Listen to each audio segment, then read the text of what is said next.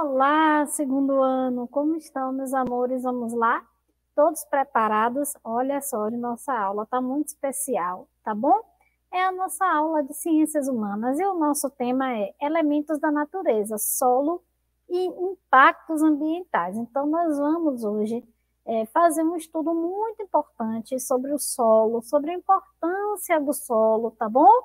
É, para nós e os impactos ambientais, né, que podem acontecer aí quando eu não cuido do solo, tá?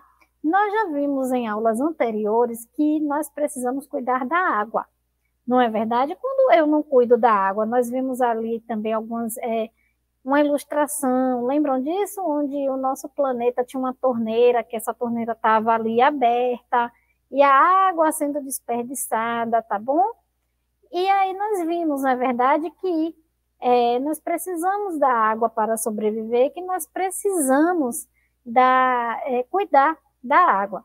E hoje nós vamos ver que nós também precisamos do solo. Não é verdade? O solo também é importantíssimo aí para a nossa sobrevivência aqui na Terra. E que nós também precisamos ter esse cuidado, né, com o solo, tá bom? o solo é importante não só para nós, né, os seres humanos, como é importante para os animais, como é importante para as plantas, tá certo?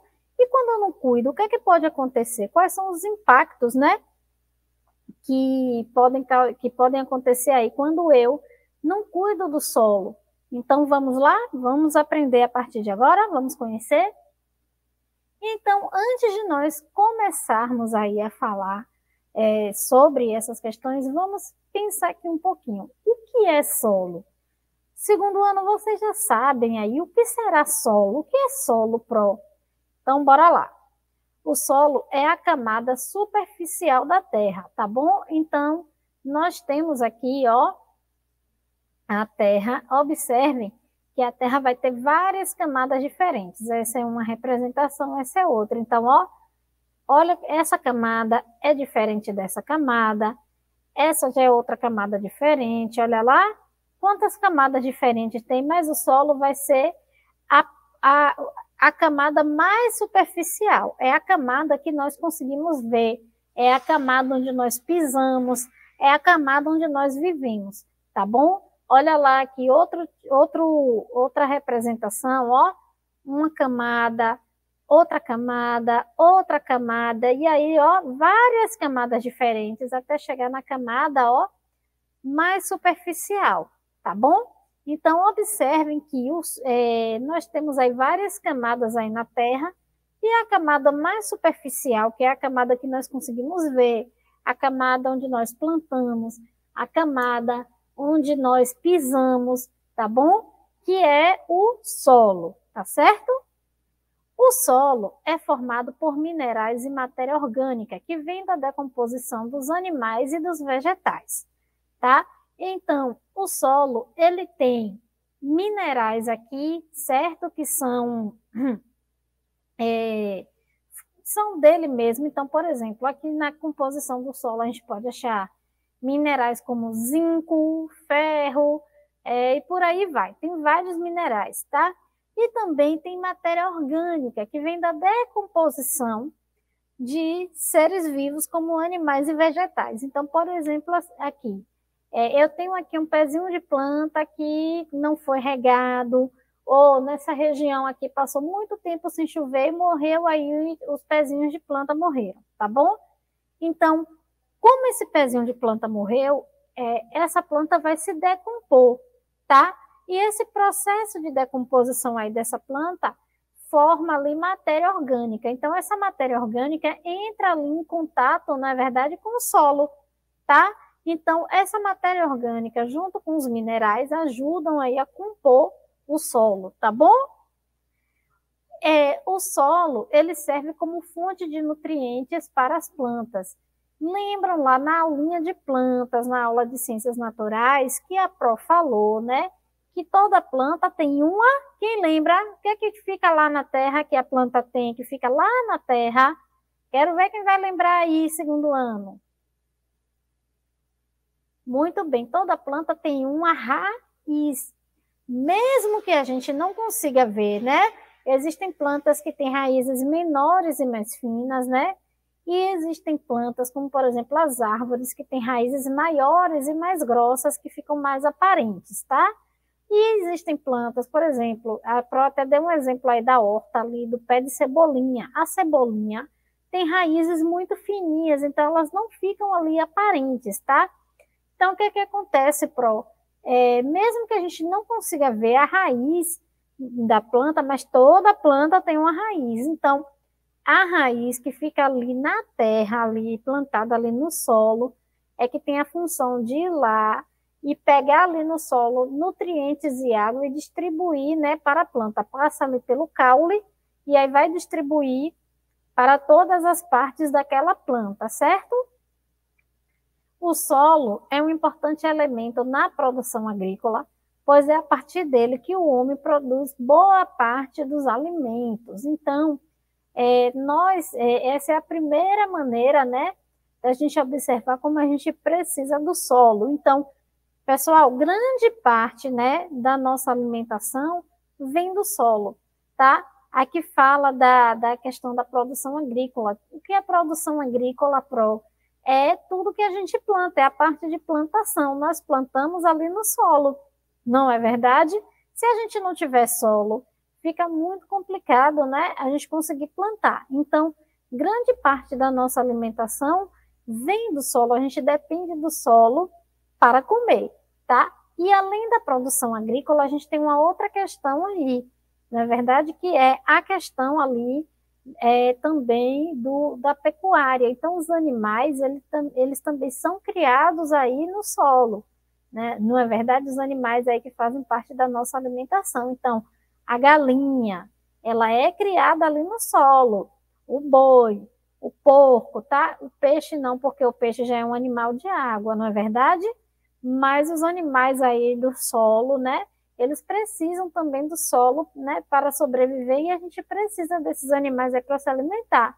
O carneiro, é, e também tem, tem a questão dos animais né, que não fazem parte da nossa alimentação, mas que eles precisam do solo para sobreviver, não é verdade? Então, por exemplo, a minhoca. A minhoca ela é uma planta que sobrevive ali, né, no solo, é, o leão. Então, são animais que não fazem parte da nossa alimentação, mas que precisam do solo, certo?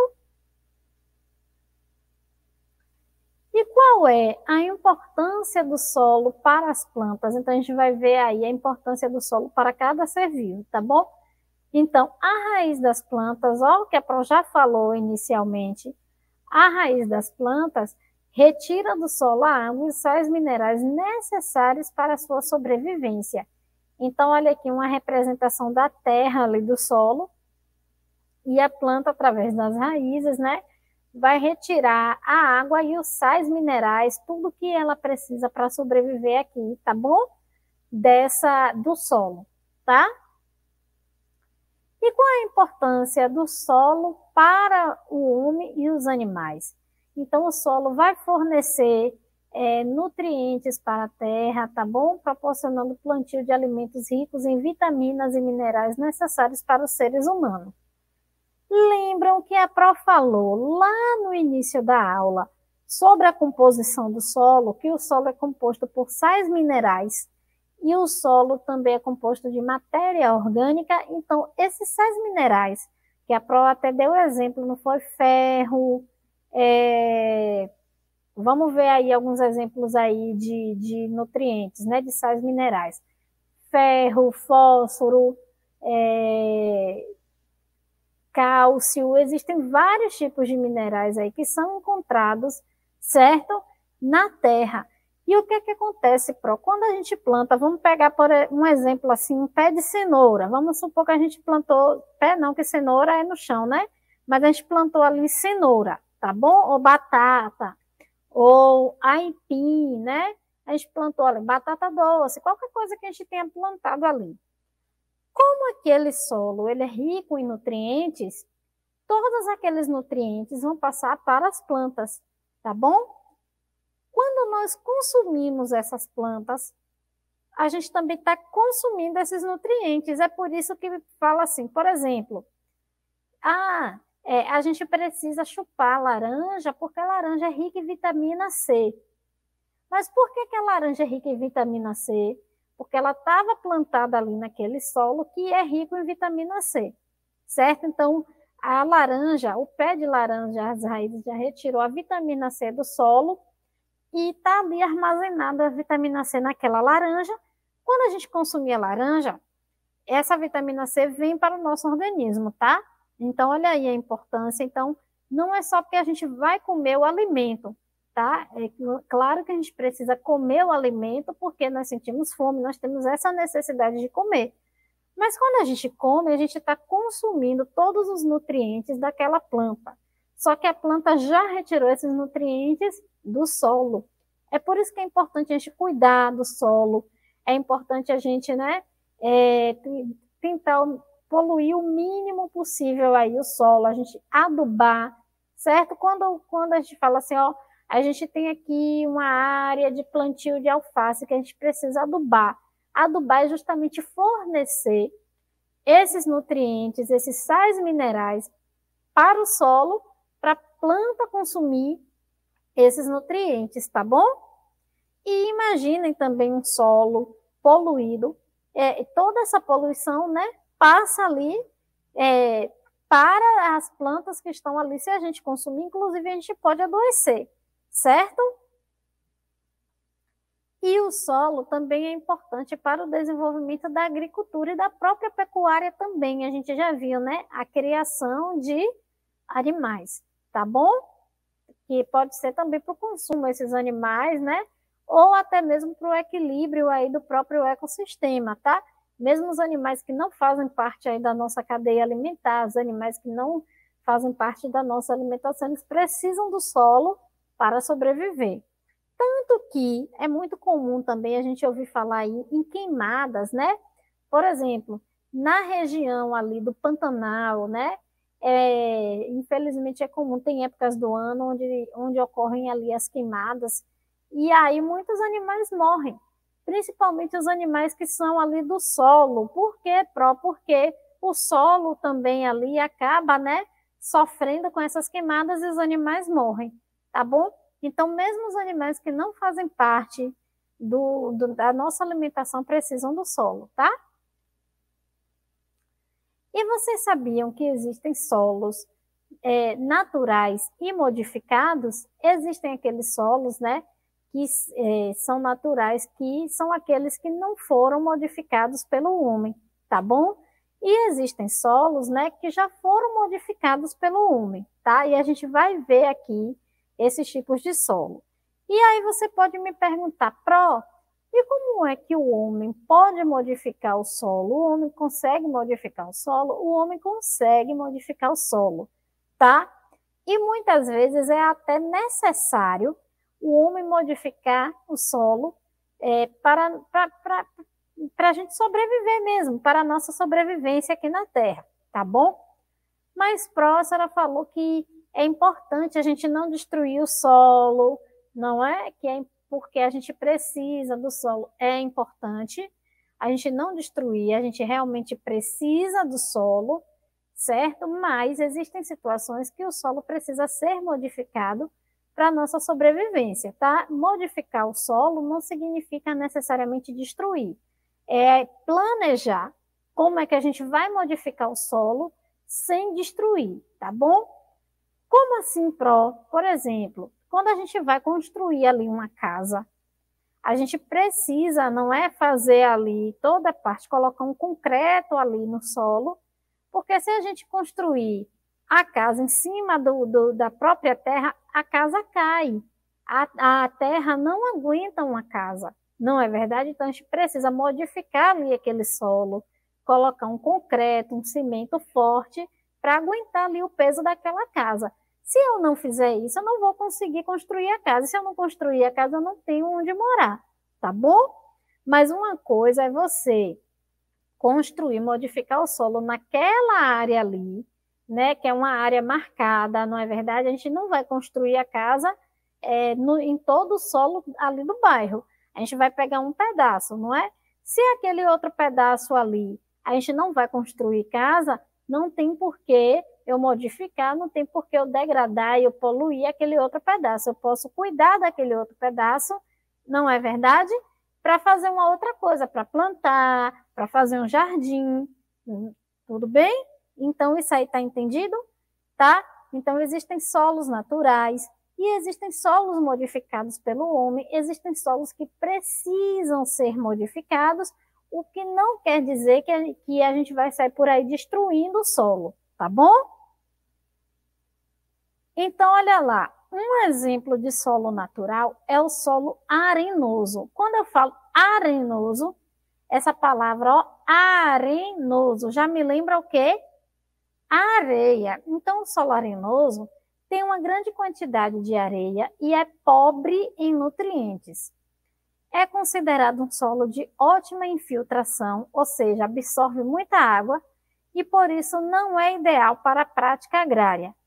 Esse solo não é, não é próprio para o cultivo. Então, aqui na imagem nós temos aí ó, o exemplo de solo é, arenoso, tá? Então, como o próprio nome diz, ó, arenoso, né, que lembra areia, ele realmente tem uma grande quantidade de areia ali na sua composição e ele é, tem boa infiltração ali, porque ele absorve muita água. Então, pensa aí num exemplo, ó, um exemplo é a areia ali da praia, tá? Então, mesmo naquela parte, nós temos ali uma areia que é mais seca, que é onde a gente costuma ficar para tomar um sol, para comer alguma coisa, na é verdade?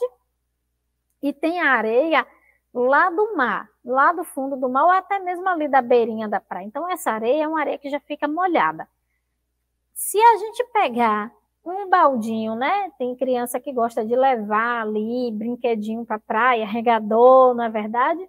Baldinho. Se a gente pegar um baldinho de água e levar para aquela parte da areia seca e a gente molhar, a areia rapidinho vai encharcar. Não é verdade? Ela não fica nem úmida, ela encharca a parte que você molhou. Encharca.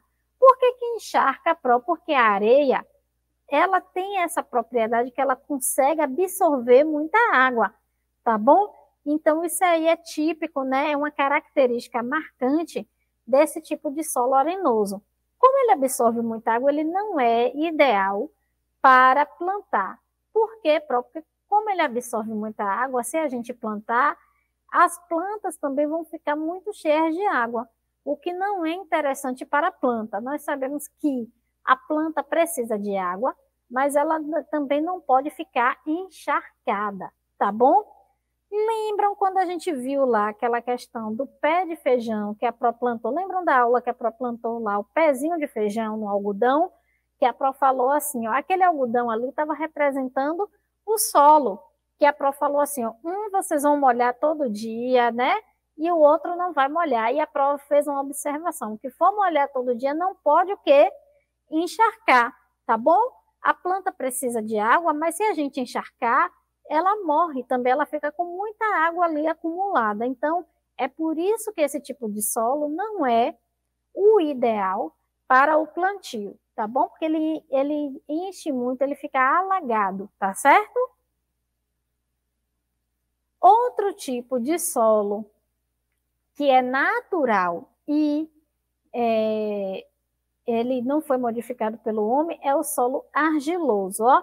Quando eu digo argiloso, eu estou falando de argila. Então, é esse solo que está representado aqui na imagem, ó. Então, ele apresenta uma grande quantidade de nutrientes e possibilita é, a produção agrícola, pois é, após ser molhado, ele absorve a água, tornando-se mais arejado. Isso permite que a planta absorva melhor os nutrientes. Então, claro que também não é todo tipo de planta que se desenvolve aqui, existem as espécies aí específicas, mas o solo argiloso, né, que tem muita argila, a gente também consegue plantar aí algumas espécies, e ele absorve é, muita água também, mas ele não acumula, ele, ele consegue, ó, também, é, através do vapor, eliminar uma quantidade de água.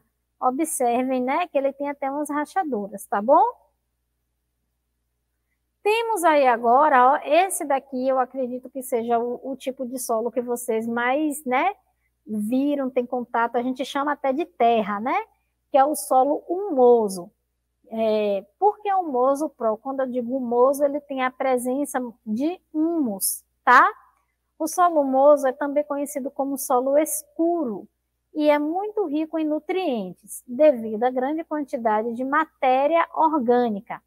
Sendo assim, ele é bastante fértil, por isso é muito utilizado na produção agrícola. Então, é o tipo de solo onde mais as pessoas né, plantam, ele é o mais usado né, para o plantio. Então, por exemplo, a própria terra vegetal, é, quem, tem, quem tiver planta em casa, vasinho, o papai e a mamãe, já, vocês já podem ter visto, né, comprando ali terra vegetal, certo? Vende no saquinho ali, no supermercado tem ali na seção de jardinagem, né, é, terra vegetal.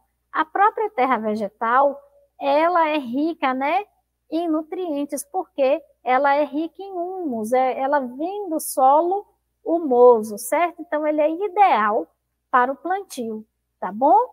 Assim lá como o solo argiloso, que algumas espécies, né, conseguem se desenvolver ali aqui no solo humoso, né, ele é o mais ideal para o plantio, certo? Temos ali também outro tipo de solo natural, que é o calcário, tá bom? Que é esse solo que está aparecendo aqui na imagem, tá? O solo calcário é de fácil identificação, pois ele contém um grande número de pedras em sua composição. Ele é impróprio para o cultivo, pois as pedras não permitem que a raiz das plantas se desenvolva, tá? Então, o solo calcário, ele, ele é, é, caracterizado pela presença aí de grande número de pedras, como vocês estão observando na imagem, tá bom? Ele é impróprio para o cultivo. O pró, e por que ele é impróprio para o cultivo? Porque é, ele não tem ali a presença de nutrientes necessários para a planta e ele também, é, por ele ter uma grande quantidade de pedras, as pedras não é, conseguem né, facilitar esse processo de desenvolvimento da própria raiz das plantas, tá bom? E olha lá, agora nós temos aí alguns tipos de solo modificado. Então, por exemplo, planta. É, existem até plantas sintéticas que, que compra-se né, as placas. Por exemplo, é, eu comprei um, um terreno onde eu vou construir uma casa, e na minha casa vai ter um jardim. Para eu construir a casa, lembra que a Pro falou que a gente precisa colocar ali uma camada de concreto, senão o solo não vai aguentar o peso da nossa casa. Então, eu já fiz ali a minha camada de concreto, só que eu quero fazer um jardim. E eu quero grama no meu jardim. Então, eu posso ali ó, comprar grama e colocar. Então, esse é um exemplo ó, de solo modificado, certo? Outro exemplo ali ó, pode ser é, o solo de areia, tá? Existem aí locais, por exemplo, existem pedreiras que produzem mesmo a areia e essa areia é proveniente, não é que já, é, já tinha areia ali, não é que é um solo arenoso, tá bom? Mas existem é, pedreiras que pegam as pedras e quebram, deixam elas bem fininhas e produzem areia. E ali acumula muita areia, então é, modificou, né, aquele solo, tá bom? Às vezes, até se tirar ali aquela areia e cavar, vai achar um outro tipo de solo ali. Outro tipo de solo é o asfalto, tá? É, nós vemos muito aí o asfalto, é, principalmente, e aí quando eu digo asfalto, mas a gente pode ter outros tipos aí de, de pavimentação, como por exemplo o paralelepípedo, que são aquelas pedras, né? Que é, a gente precisa por questão de pavimentação, não é verdade? Então, é, o asfalto, o paralelepípedo, eles estão aí é, para facilitar até mesmo o trânsito de pessoas e de veículos. Por que, Pro? Pro, porque aqui não poderia ser terra, é asfalto, porque foi necessário modificar. Observe, esse é um exemplo de modificação do solo que é necessária, tá? Imagine que por aqui antes passava uma estrada de terra. O que é que vai acontecer quando estiver chovendo? Isso aqui enche de água, forma buracos, tá bom? Fica difícil para passar tanto veículos como pedestre. Não é verdade? Pode provocar um acidente. É, uma motocicleta mesmo pode vir aqui, se tiver um buraco, não enxergar, ó, e cair aqui, até um pedestre também. Então, isso aqui é necessário até para segurança, tá bom? A pavimentação, colocar aí asfalto, colocar paralelepípedo é necessário até para a nossa segurança, certo? E agora nós vamos ver as questões aí relacionadas aos impactos ambientais, tá? Que é, podem acontecer quando nós não cuidamos do solo, tá certo? Então, é, existem aí alguns tipos de impactos ambientais, como, por exemplo, ó, a desertificação. Então, pro, o que, é que vai causar? A desertificação vai ficar parecendo um deserto, né? As queimadas e o desmatamento, desmatamento fazem com, é, com o solo, com que o solo perca a sua capacidade de guardar nutrientes. Então, é, conforme a gente vai tirando ali toda a cobertura vegetal, né? Todas as plantas, tudo. Por exemplo, observe, essa área, aí você fala, oh, mas a gente não precisou retirar também planta para construir casa? Precisou, mas a gente teve uma finalidade, a gente não tirou só para tirar a planta, a gente construiu casa. Aqui, observem que é uma área que não tem nada, ó, aqui não tem nada construído, retirou as plantas e não fez nada, não é verdade? Então, isso aí, esse desmatamento e também queimadas causam a desertificação. Esse solo acaba também perdendo né, a capacidade de guardar nutrientes. Então, esse solo aqui já é um solo pobre, já é um solo que nem adianta mais plantar, tá certo? Então, isso, esse daí é um dos impactos né, ambientais quando nós não cuidamos do solo, tá bom? Olha lá, Outro impacto também, que é muito comum, inclusive eu já vi, é a erosão, tá? Pro, e o que é erosão? E o que causa erosão? Olha lá, a retirada da camada vegetal do solo e a ação de alguns agentes naturais podem causar desgastes no solo e até a abertura deles. Então, o que é que vai acontecer aqui nessa situação? É, foi retirada aqui a camada vegetal, certo?